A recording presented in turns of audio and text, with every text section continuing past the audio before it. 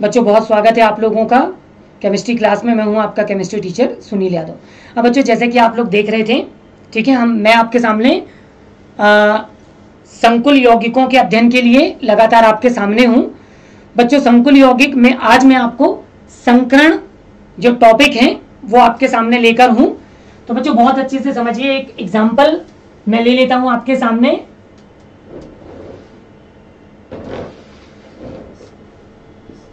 K four F E C N whole number of six बच्चों, इस compound का जो नाम है, सबसे पहले आपको बता दूँ, इस कंपाउंड का नाम मैंने आपको लिखना भी सिखाया था, ठीक है? यह है potassium.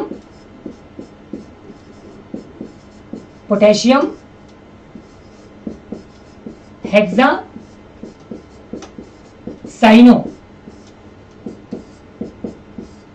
Ferrate और ऑक्सीडेशन नंबर हो जाएगा इसका टू तो बच्चों, इस कंपाउंड का नाम है पोटेशियम हेक्सासाइनोफेरेट टू बच्चों, आज मैं इसमें आपको संकरण डिस्क्राइब करूँगा।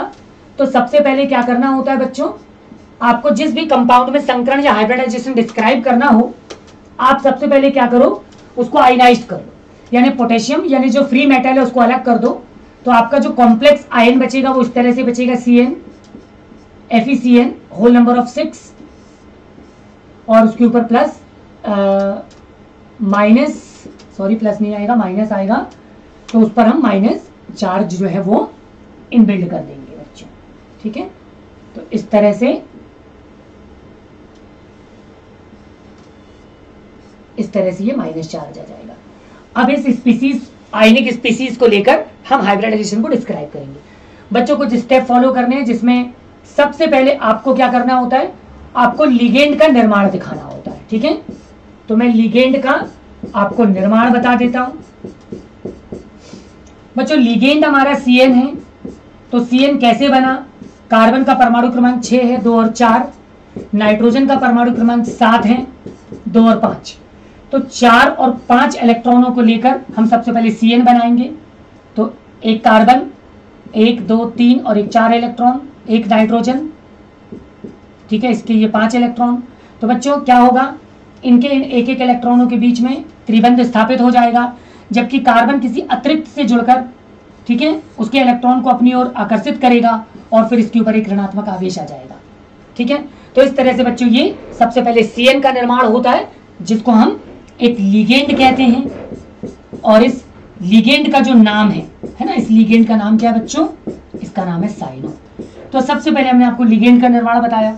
दूसरी चीज़ बच्चों लिगेंड के बाद हम एफ़ सी एम आई को लेके चलेंगे। इसका एटॉमिक नंबर 26 होता है। कॉन्फ़िगरेशन करूँगा। One S two two S two two P six three S two three P six four S two और थ्री डी सिक्स बच्चों, इस तरह से आप काउंट करेंगे तो 26 इलेक्ट्रॉन हो जाते हैं। दो दो, चार छः दस। दस और दो, बारह छः अठारह अठारह और दो, बीस और छः छब्बीस। बच्चों, मैं फाइनली डी ब्लॉक के तत्व के वैलेंस सेल की बात करूँगा तो ये इसका वैलेंस सेल है फोर एस टू और थ्री डी सिक्स तो संयोजी कोष ले लेंगे जल्दी से। संयोजी कोष तो फाइनली बच्चों उसका जो संयोजी कोष है, वो है four S two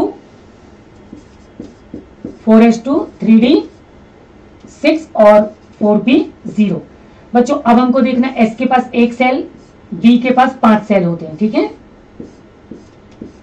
हमने इलेवेंथ क्लास में इसको पढ़ रखा हुआ है, जबकि पी के पास तीन सेल होते हैं।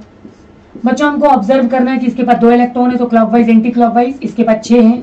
तो पहले सभी में एक एक इलेक्ट्रॉन की हम फिलिंग कर देंगे इस तरह से। जबकि हमको केवल खाली कक्षक कितने मिल रहे हैं? तीन। बच्चों, संकरण की घटना में हमको अधिक से अधिक खाली कक्षक प्राप्त करने होते हैं। महत्वपूर्ण चीज़ देखिए, इसके नाम से आपको पता भी चल रहा है कि यहाँ पर जो आयरन है तो वो अपनी प्लस टू ऑक्सीकरण अवस्था में है। जबकि हमने उदासीन अवस्था में अभी उसका इलेक्ट्रॉनिक विन्यास प्राप्त किया। सबसे पहले अब हम इसको प्लस टू ऑक्सीकरण अवस्था में ले जाएँगे। तो हम क्या करेंगे बच्चों? तीसरे स्टेप में एफ़ को एफ़ को एफ़ डबल प्लस में क्या कर लेंगे? बदलेंगे। है ना? बदलना है। ऐसा करने के लिए हम क्या करेंगे? इसको ऊर्जा दे देंगे। ठीक? जब इसको ऊर्जा देंगे तो इसके फोर एस टू के दो इलेक्ट्रॉन क्या हो जाएँगे? फोर एस के दो इलेक्ट्रॉन निकल जाएँगे। दो इलेक्ट्रॉन जब निकल जाएँगे तो इसका जो नया प्रतिबिंब प्राप्त होगा, नया इलेक्ट्रॉनिक विन्यास वो ऐसा हो जाएगा, देखिए। इसके संयोजी को उसको लिखेंगे, कि हो जाएगा फोर एस ज़ीरो एक खंड कोई इलेक्ट्रॉन नहीं। उसके बाद होगा थ्री डी सिक्स इसके पास पाँच खंड होंगे। इस तरह से प्रत्येक खंड में पहले एक एक इलेक्ट्रॉन की फिलिंग होगी, एक युग्मित। जबकि फोर पी ज़ीरो मिलेगा, जिसके तीन खंड होंगे, तीन कक्षक होंगे, और भी उनमें कोई अतिरिक्त इलेक्ट्रॉन नहीं होगा। तो बच्चों, हमारे पास अब एक खंड और बढ़ गया है। हमारे पास चार अतिरिक्त खंड हो चुके हैं। बच्चों, इसके बाद जो अगला स्टेप है, वो ये कहता है कि अब आप क्या करेंगे? अब आप एफ़ ट्वेंटी सिक्स को एफ़ ट्वेंटी सिक्स को क्या करेंगे? हुंड के नियम के विपरीत, है ना? हुंड के नियम के विपरीत आयनिक अवस्था में।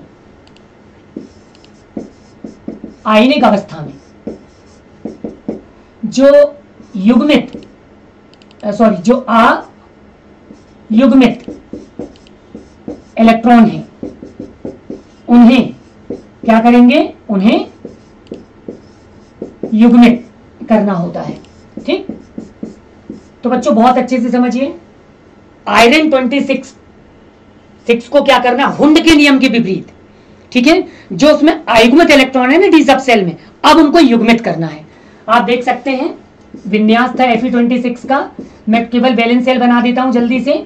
वो था बच्चों four S zero three D six और फोर पी ज़ीरो तो एस के पास कोई इलेक्ट्रॉन नहीं था, हम निकाल चुके थे और ये प्लस टू में कन्वर्ट हो चुका है। डी के पास पाँच सेल है बच्चों। और इस तरह से उसके पास एक, दो, तीन, चार, पाँच और एक ये छह, जबकि पी के पास कोई भी अतिरिक्त इलेक्ट्रॉन नहीं है। तो हमने बोला है कि हुंड के नियम के विपरीत, है ना? आयनिक अवस्था में। अब हमको जो आयुग्मित इलेक्ट्रॉन है, उनको कैसा बनाना है? युग्मित। तो आप देख सकते हैं, यहाँ पर ये चार आयुग्मित इलेक्ट्रॉन है। अब इनको युग्मित करना है। तो बच्चों, हम क्या करेंगे? इसके आयन से ऊर्जा निकालेंगे। जब ऊर्जा निकालेंगे तो ये इलेक्ट्रॉन जो है, वो क्या हो जाएँगे? युग्मित हो जाएँगे। ऐसा करने पर हमको इसका पांचवा स्टेप भी मिल जाएगा और एफ़ ट्वेंटी सिक्स जो है, वो हमको कुछ इस तरह से दिखेगा। तब four S zero three D six three D six और इसके अलावा मिलेगा बेटा फोर बी ज़ीरो तब हमको एस के पास केवल एक खंड पी के पास वही पाँच खंड, ठीक है? जबकि सॉरी डी के पास पाँच खंड और पी के पास तीन खंड देखने को मिलेंगे।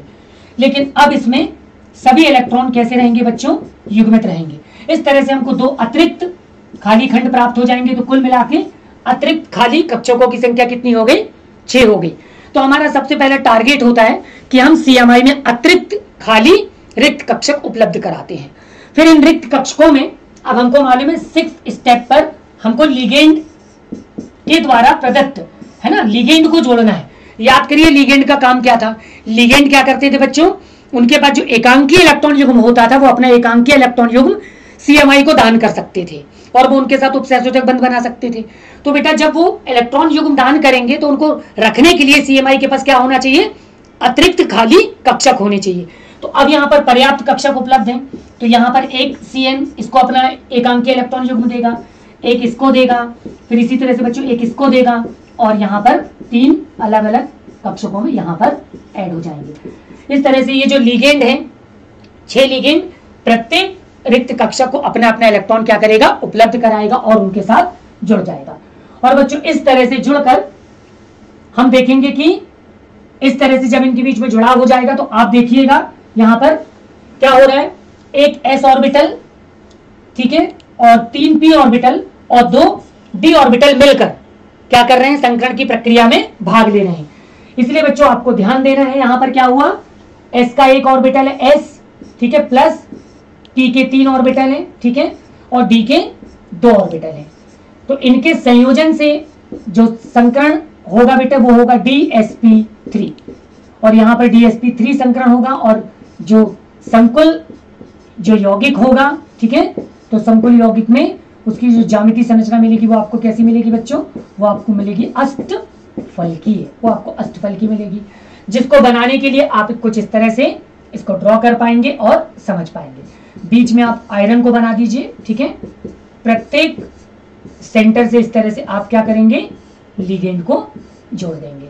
तो यहाँ पर एक सी एन यहाँ पर सी एन इस तरह से ये सारे के सारे लिगेंड जो है वो जुड़ जाएँगे। आप ब्रैकेट लगा देंगे। इसको एक स्क्वायर के साथ मुलाकात होगी। Thank you